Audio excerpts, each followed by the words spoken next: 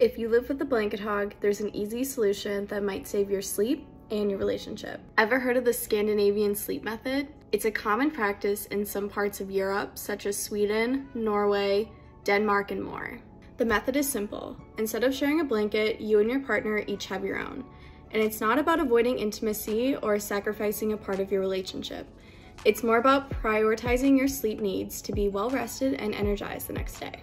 So ditch your large comforter for two separate blankets or two twin comforters, or maybe an extra sheet if you are a much hotter sleeper compared to your partner.